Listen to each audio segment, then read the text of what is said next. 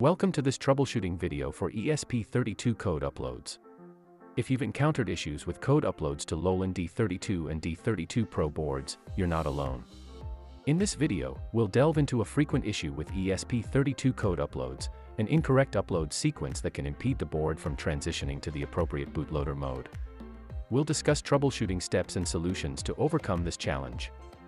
In this video, we'll start by examining the symptoms of the issue, using the LOLIN D32 Pro board with the original ESP32 chip. Although the board was working fine before, I haven't used it for a long time. Let's take a closer look at the symptoms of the problem. When attempting to upload code to an ESP32, you may encounter timeout errors or receive a specific error message, such as, failed to connect to ESP32, wrong boot mode detected, 0x37. This error indicates that the board was not switched to the correct mode during the upload process. But what exactly does the 0x37 code mean? Let's delve into this mystery and uncover the root cause of the issue. During our investigation, we discovered that when we restart the board with the serial monitor tool open, we can clearly see that the board is still in the standard boot mode from the flash memory, with a boot code of 0x37. This indicates that the upload procedure did not correctly switch the board to the appropriate mode as expected.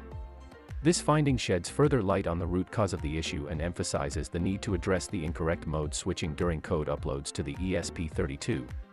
After researching various discussions and forums regarding the ESP32 code upload issue, I came across a detailed explanation by Mike Teachman that specifically addresses the problem with LOLIN D32 boards.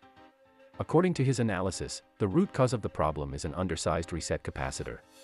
The schematic for LOLIN D32 boards shows a 100 nanofarads capacitor to ground and a 10 kilo resistor to 3.3 volts, but this results in the reset signal rising too quickly, causing the ESP32 to detect IO0 in the high state.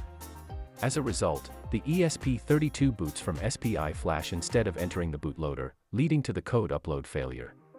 However, Mike Teachman suggests that by increasing the capacitance to 1 microfarads, the reset rise time increases to about 30 milliseconds, as highlighted in blue in the afterscope capture. This longer rise time ensures that IO0 is sampled as low, triggering the ESP32 to enter the bootloader correctly. When troubleshooting the code upload issue, there are several steps that can be taken. First, it's recommended to test the upload on different PCs with various cables to rule out any potential issues with hardware. Additionally, lowering the upload speed can be tried to see if it resolves the problem. As for solutions, one option is to manually switch the board to bootloader mode by shorting IO0 with GND.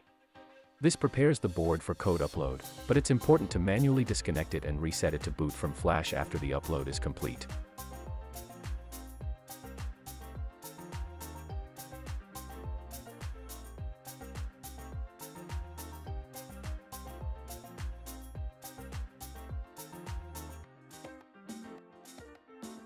Another solution, as suggested by Mike Teachman, is to add an additional capacitor, 1 microfarad, between reset, labeled RS or RST on the boards, to restore the automatic mode switch initiated by CH340. This ensures that the board is restarted in the correct mode after the code upload, eliminating the need for manual intervention.